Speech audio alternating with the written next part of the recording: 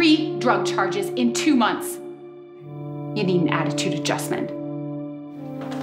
I love you. Love you too. When people hurt us, it's because we let them. I'm a liar, a bad daughter, a bad friend. I only care about myself, and I don't care how any of it affects anyone. Look at me with that scornful face again, and I'll take it from you. She's a bitch. She's fake. She's a poor little rich girl that needs therapy, please.